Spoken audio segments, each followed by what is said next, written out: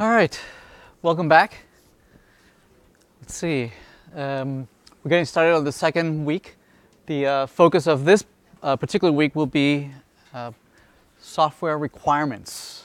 Right, remember, the, uh, the software requirement is the most vulnerable phase of an, app, of an application, of any project.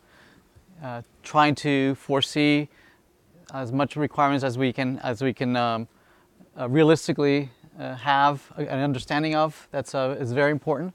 Although we cannot have real un- unrealistic expectations that we're going to uh, be able to foresee everything, right? So, uh, so ha- we have to understand the the limitations of us being able to understand the entire domain uh, and how vulnerable it is that we we we try to focus on too much details on things we don't yet understand.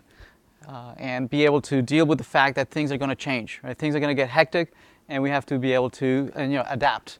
And today is that's kind of like our, the industry standard, right, of using uh, agile techniques to to be um, uh, to you know to understand that uh, things are going to change and uh, how is it that we're going to uh, respond to that?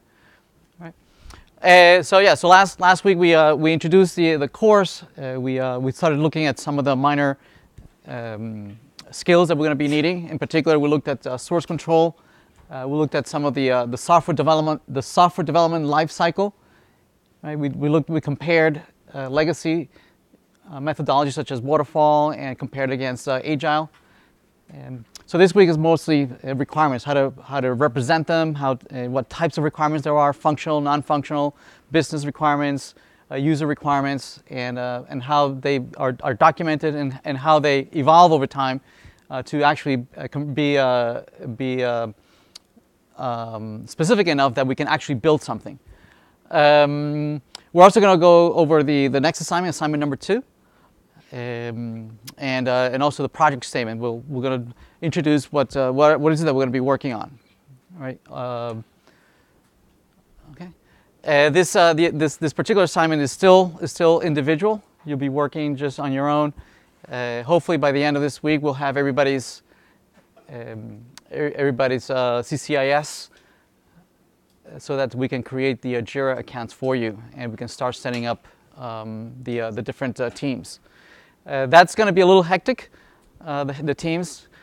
Uh, I believe about 80% to 90% of the teams will be able to set them up uh, no problem.